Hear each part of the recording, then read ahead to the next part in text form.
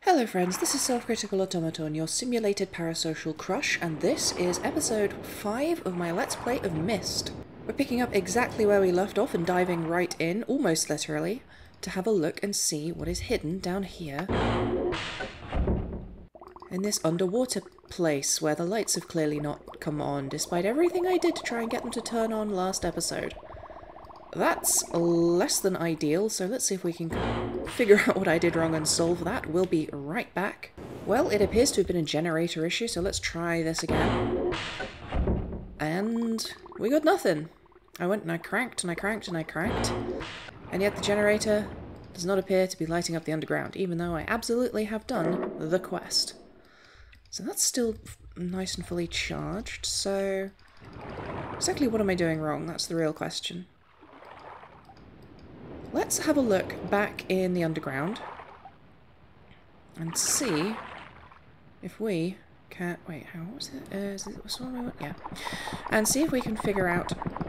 I mean, redoing that same quest thingy, that same puzzle, might just solve the problem, so let's let's do that. One thing I should mention that I keep forgetting to bring back up, uh, 0, 1, 2, 3, 4, 5, 6, 7, 9, 10, 11, 12. There we go. It's got the underwater lights back on. Is that I am not playing on the original 1993 version of Myst. That would be more difficult than than I really have time to set up. We are, of course, playing on Myst Masterpiece Edition, although this is my copy from back then, which is the 2000 re-release of Myst, which included uh, upgraded visuals, very slightly upgraded visuals, uh, a higher resolution, and almost no other changes to the game. That looks more like it.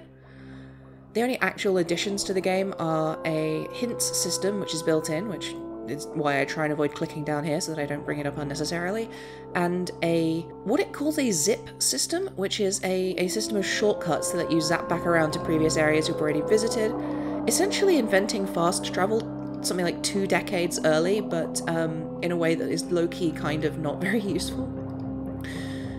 There have been a lot of versions of Myst over the years. Is this... This is just a table. Ooh. Well, the music in there is almost deafening, so I'm glad I could get out.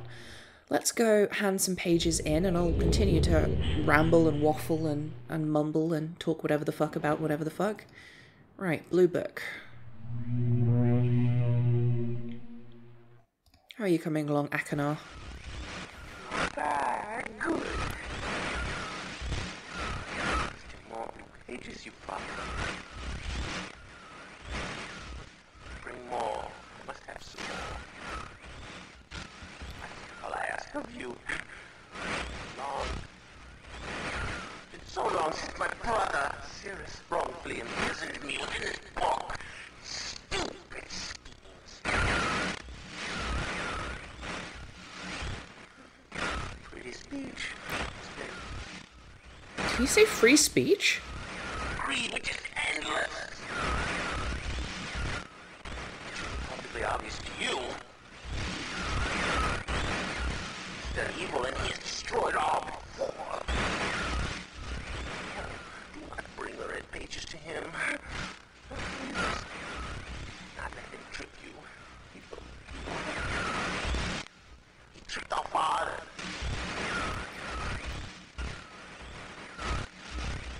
Hideously murdered our father. He'll you. He'll murder you. Don't touch the red pages. Beg you to bring the blue pages. So, he's begging us to bring the blue pages, insisting it's absolutely vital, and also says that I should not bring the red pages to let uh, Sirrus out of his book. That Sirrus betrayed and murdered their father, which is a, a classic quote from Star Wars, unintentionally. I don't know if you've heard of this, this this popular popular film series, Star Wars. It's pretty good, you should check it out. Not a lot of people know about it. Anyway, so he's insisting that Sirrus has has murdered their father, or alternatively trapped their father in a book as well, and that if I don't let him out, Sirrus might trap us in a book too, which seems like it's not a fun existence. So I don't trust either of these guys as far as I can throw them. So what I'm going to do is I'm going to run back off to the other age, find the other page, and see what Sirrus has to say about this. Because the question at the moment is still, which of these brothers should we trust? They both seem to be saying the other is untrustworthy. But in terms of their actual character as presented through the objects that they own, the game is clearly setting up an implication that you should side with Sirrus against Achenar because Achenar's this, ooh, crazy serial killer guy, ooh, suspicious, ooh, threatening, ooh, unstable, and so on. You know, all of his accoutrements are these kind of like violent, unpleasant tools, these signs of, of domination. Whereas, you know, Sirrus is, is respectable. He's he's trustworthy almost. He's he's he likes refined things and he speaks well and sensibly. But of course, this itself is a red herring. They fairly clearly lay the seeds to uh, understand that while Achenar might be obsessed with domination and cruelty, Sirrus himself is equally obsessed with exploitation. We mustn't forget that, you know, for all they, they argue, oh, that's, that's a nice detail, I can shut that. I'm sure that will never, ever be relevant or come in handy, but it's a nice little thing anyway. Yeah, so we should just never, ever trust either of them because, you know, they both had thrones. Their father didn't have thrones, or a throne even. Their father spoke about, you know, helping these people or trying to understand them. Whereas these two both seem to be exploiting them and bringing about their deaths very often. Let's not forget there were severed heads on the walls in in Achenar's room, but there were also chests full of pointless gold in Sirrus's secret chamber. I'm sure one of these has the note in. There it is. Let's grab this and head back. But yeah, so there have been a lot of different versions of Myst over the years. There was obviously the first version in 1993, and then in 2000, after a decade of, you know, relentless popularity, there was, of course, the uh, there was of course the Real Myst remake, which was a an interesting update that actually rendered the game in full 3D. Instead of being the static slideshow of pre-rendered images, it actually began to live render the game's uh, areas, which was considered to be a kind of a, a, beautiful update. And wow, look, isn't it amazing what technology can do? But I actually think it's a lot uglier. There's a there's a there's an irony to that really, because while Myst's pre-rendered images have a charm to them that um, they retain even to this day by being these sort of like decently resolution pre-rendered images. The 3D live rendering used in Real Myst obviously looks like absolute garbage now which means uh, that the, the remaster of this game that was so praised at the time is actually worse than just going back and playing the original, or the ma original Masterpiece ed edition, which actually came out the same year. This is the wrong room. Because it was in 2000 that both Real Myst, the live rendering update, and... Is it this one? Uh, I should count actually. 0, 1, 2, 3, 4, 5, 6, 7, 8, 9, 10, 11, 12. Due southeast, I should remember that. Not that I'm ever coming back here after this one. But yeah, so in the, in the same year um, that remaster came out, and also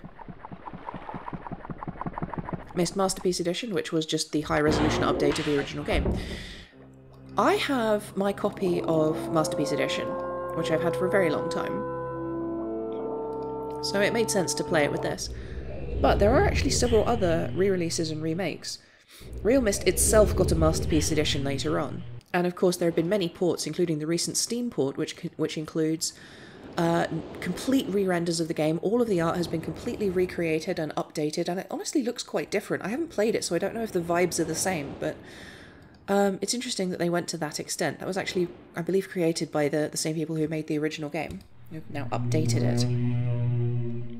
Also, amusingly, there was a parody game released, which actually received like a full actual release called Pyst, even though it actually commits the sin that Myst was accused of by being an actual slide slideshow. The theming theming of Pyst being that you are the like hundredth visitor to the island. Everybody else has been yelling about Myst for years, so everybody's run through it.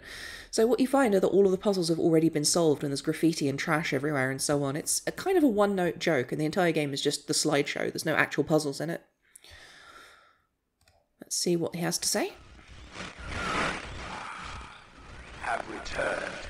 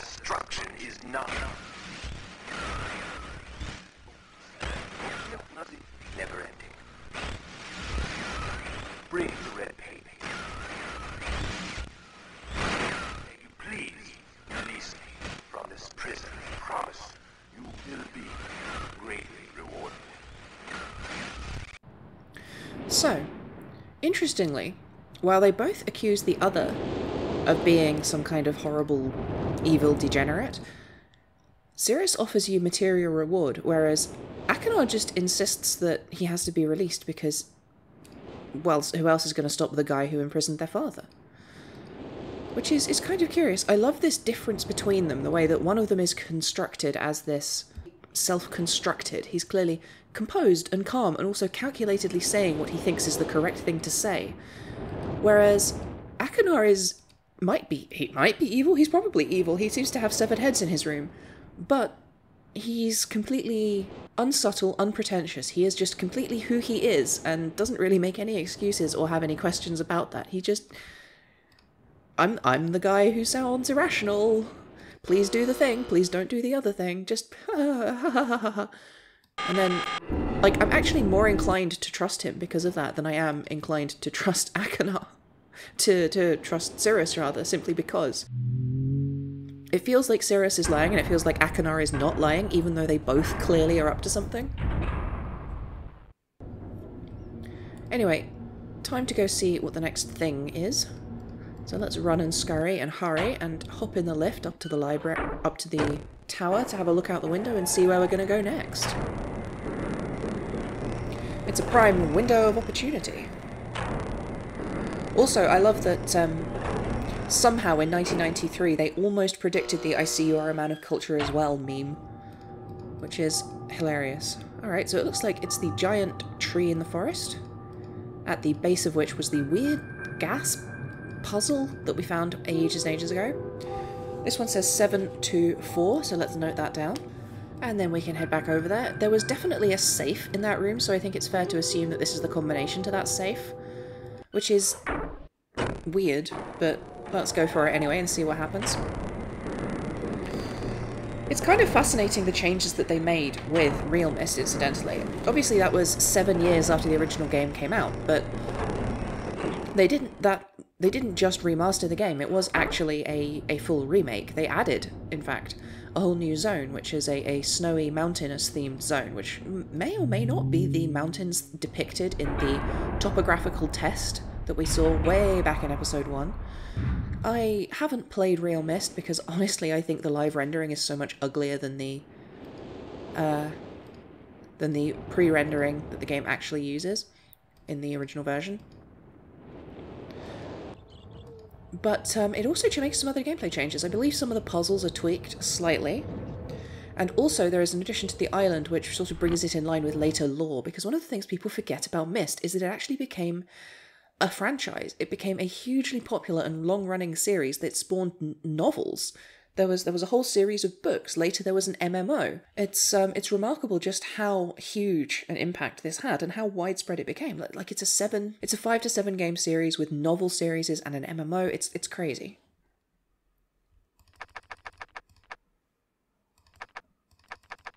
Seven two four. Let's have a look. Geez, it's matches. Who knew? Well, I don't know about you, but I believe matches can be used to ignite a pilot light on an old gas stove. So let's turn on the gas and not kill ourselves, hopefully.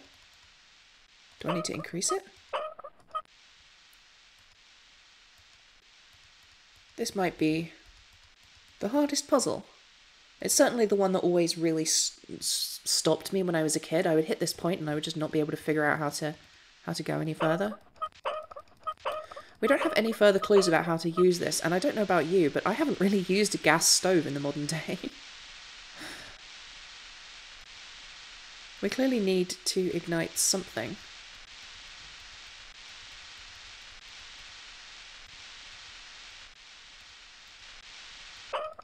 Interestingly, one of the reasons for the success that Myst originally had was that it was kind of seen as the anti Doom at the same time as PC gaming became. Oh, hang on. Aha! At the same time as Doom was becoming this really popular thing, and PC gaming therefore became known as this sort of like extremely violent medium for, for violent people who like violent things. There was this. Uh, how do I increase the pressure? It seems like I need to increase the pressure in there since it says. Like, that's a pressure gauge, right? PSI, PS, something like that. I, what happens if I turn it up? Yeah, so at a time when, when games was were seeing seen to be starting to go from being harmless children's entertainment to being actual like violence focused, and there began to be these backlashes against it, especially considering the ongoing satanic panic of the late 80s that, that spilled into the 90s to some extent. There was this definite. Is something about to happen? Uh, aha! Uh, okay, is that bad? Sounds like it overdid it. Maybe I need to turn it off once it gets high enough.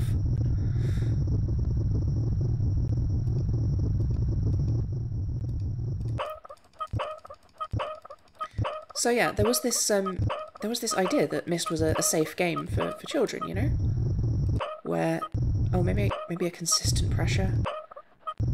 It's just this it's this cool place where you vibe and you solve logic puzzles.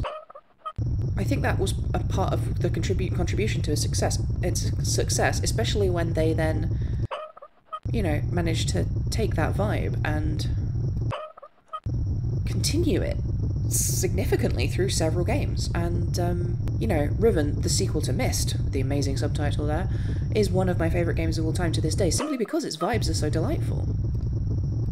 I feel like I need to keep this at a particular level for a certain amount of time, but I don't know which level it is or how long I need to keep it there. I might be barking up the wrong tree. That's definitely a pressure gauge. Hmm, okay. Is it gonna overload again? Or is it gonna work?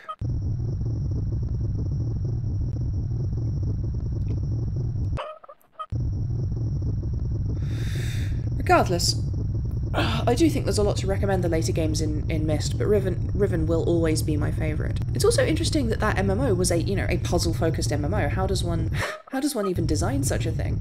I haven't played it because sadly it doesn't really exist anymore. Although I think there is a fan based revival project. Like how could how could you run an MMO that isn't based on combat? This is a, a, problem that we have in the games industry overall is how do you make games that aren't based around combat? Because combat is such an easy, simple challenge and resolution mechanic that it's just honestly not surprising it's become the default. People talk a lot about how, oh, well, maybe if in the early days we had put so much effort into things that weren't combat becoming the default, perhaps the industry would have developed in such a way that, you know, combat was not so so widespread, so so that violence was not the default in video games. But you've got to remember that in the early days of computer games, the by far most popular genre, even after Doom came out for a long time, were still graphical adventures, point and click adventures, puzzle solving games. Anyway, I'm clearly doing something wrong here, so I think I'll have to have a think about this, and we'll come back next episode to see what I am doing wrong. Uh, there clearly must be a solution.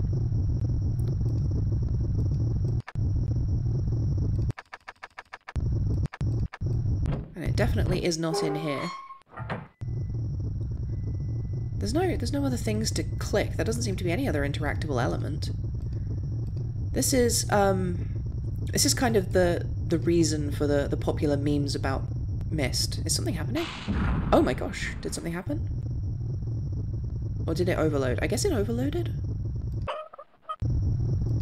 What if I go outside? What happens if I come out here and turn around and look? It's not like I've actually seen the tree. Is this at the... Oh, there's the... Oh, okay, the tree's over here. I didn't realise the tree was, was accessible or visible. Interesting. Okay, what happens if I turn the pressure up? And we get it, we get it nice and toasty. And then we'll go have a look, and, th and then I'll, I'll, I'll, I'll join you next time after we see if this is the solution. I'm not sure how, how mechanical this is, how tied to the rate of change the, uh, the burner is. Well, it doesn't seem to have done anything. Is it even still running? Maybe the simulation doesn't run when I'm not in that room. You never know. Can I look up? Yeah. So, I think we're going to have to come back next time to figure out what this is. So, that's going to be all from me for today. Thanks for watching. Please make sure to like, subscribe, and especially share. And check out my Twitch channel for regular streams. On Twitter, you can find announcements and one tweet micro reviews. And if you like what I do and want to support me, you can donate on Patreon or Ko-fi. The links are all in the description, and thank you so much for watching.